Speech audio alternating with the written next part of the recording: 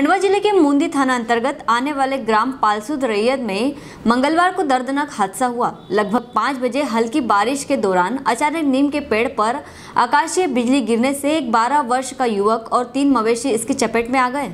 गाँव में रहवासी ने बताया कि विकास पिता भोला जाति बंजारा अपने घर के सामने नीम के पेड़ के नीचे बंधे झूले पर झूल रहा था और उस नीम के पेड़ के नीचे दो भैंस और एक केड़ा बंधा हुआ था। हालाँकि हल्की बारिश और अचानक आकाशीय बिजली गिरी, जिसमें विकास की मौके पर ही मौत हो गई। वहीं पेड़ के नीचे तीन मवेशियों की भी मौके पर मौत हो गई।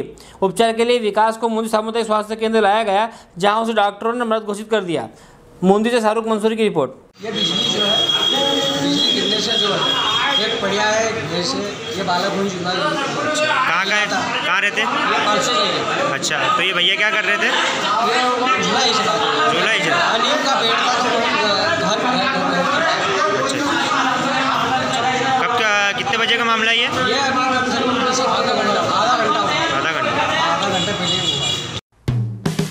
हेलो फ्रेंड्स आप देख रहे हैं हमारा channel S W twenty four news हमारे सारे वीडियो सबसे पहले देखने के लिए आप हमारे चैनल को सब्सक्राइब करें और पास में लगे बेल आइकन को दबाना बिल्कुल भी ना भूलें।